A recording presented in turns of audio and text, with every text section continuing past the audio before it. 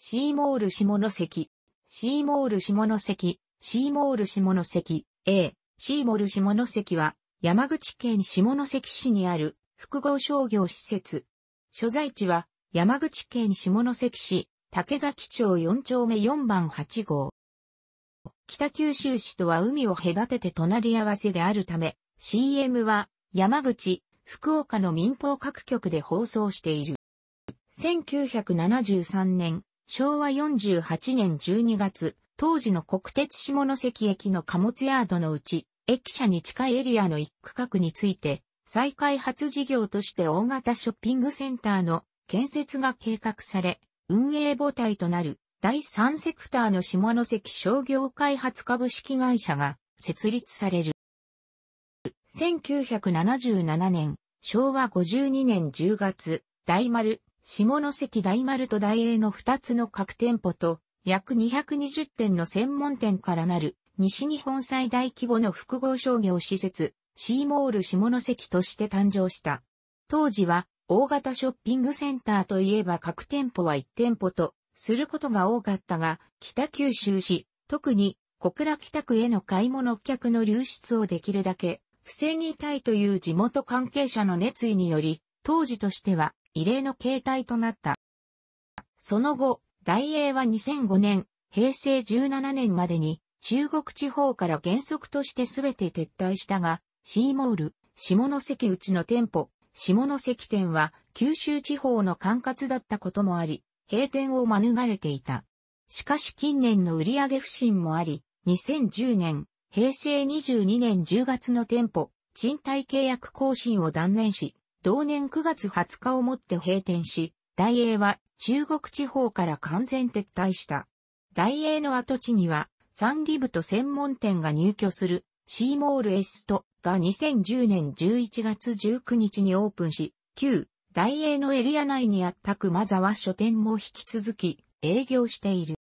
開業依頼数回の全面改装を行っており、開業30周年の2007年、平成19年の大ティボリフレッシュ工事の際には、外壁の塗装塗り替えやコンコース、出入り口の拡大、店舗の移転、拡大などを行った。最近では、開業40周年となる2017年、平成29年の4月に、来春の大規模改修、リニューアル工事が計画されていることを一部公表し、新たにフードコートやクリニックゾーンを設置することなどを発表した。営業を続けながら、同年秋より順次工事に入り、既存店舗の移転や拡大を行った。12月には、スウェーデンの衣料品チェーンである H&M が入店するなどの具体的なリニューアル内容を正式発表した。専門店街とエストに分かれていた区分をシーモールとして統合し、ロゴマークも新しいものに変更された。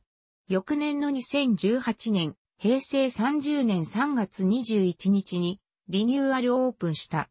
なお、地下のサンリブは、サンリブシーモールエスト店、サンリブシーモール店とて営業してきたが、2018年7月31日をもって完全閉店した。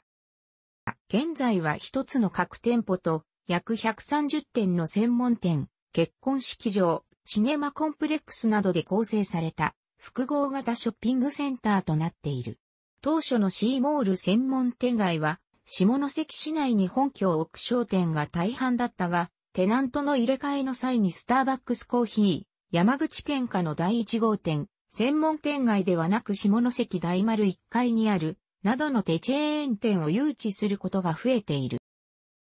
シーモール、下関内の映画館がミニシアターへ衣替えしたことから、東宝を含めた大手映画会社系の最新映画は、下関では見られなくなり、見るとすれば小倉などに足を運ばなければならなくなった下関駅周辺の再開発事業、下関駅にぎわい、プロジェクトにおいて市が公募した事業提案に対して、シーモール下関を運営する下関商業開発がシネマコンプレックスを建設する構想を打ち出し、優先交渉権を得て、2013年2月26日に着工した。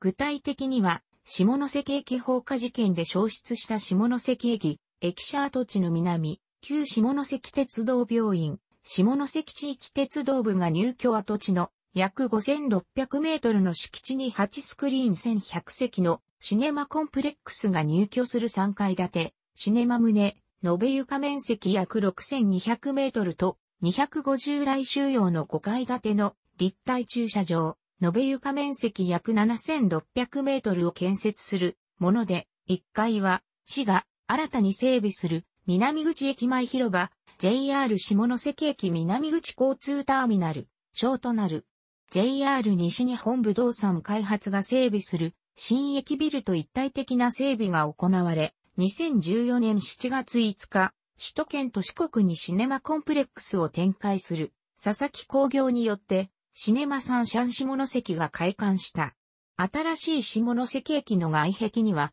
下関で撮られた映画のイラストが描かれている。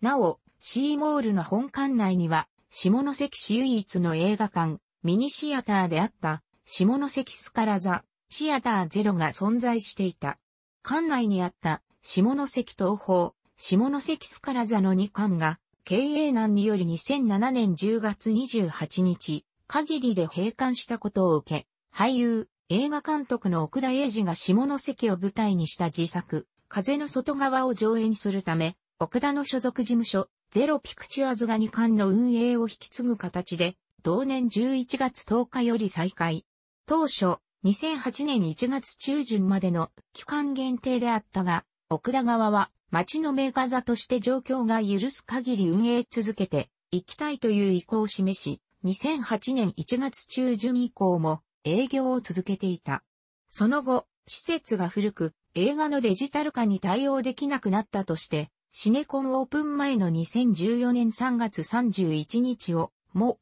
閉館しており、下関市には一時的にではあるが、映画館がない状態となっていた。楽しくご覧になりましたら、購読と良いです。クリックしてください。